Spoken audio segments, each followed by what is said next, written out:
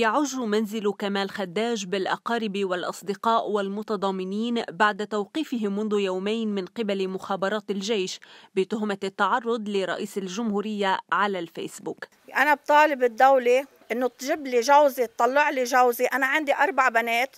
أربع بنات عندهم مدارس عندهم جامعات عندهم ثانويات عندهم عندنا أجار عندنا مصاريف. الدولة غرقتنا تحت الأرض. سكرت لنا كراجنا سكرت لنا مصالحنا. كله من وراء هالدولة هاي. عندي لكون بناتي كليتهم. شو بيعملوا بناتي بكرة؟ كيف بيروحوا على جامعاتهم كيف بيروحوا على مدارسهم؟ مين بده يأمن لهم معيشتهم؟ بترك جوزي بالحبس. أهل كمال زوجته وبناته بانتظار معرفة مكانه.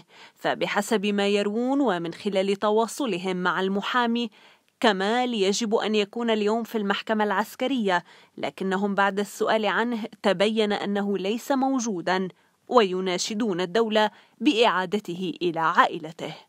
كلنا عم كلنا بدنا نعرف ونو كمال ما حدا عم يعطينا معلومة ولو صغيرة شو عمل كمال لينزلوه تحت تسع أرض ما نعرف عنه شيء نطلب نحن من كل السياسيين إنه آه، ينظروا للحالة اللي إحنا فيها. وشغله ما عادي تصير بس مش بهالطريقه هيدي بعض السلطة يمارس الترهيب الفكري والقمع فإلى متى سيستمر التعرض للحريات العامة خوفا من الانتقاد ومن أصوات الحق؟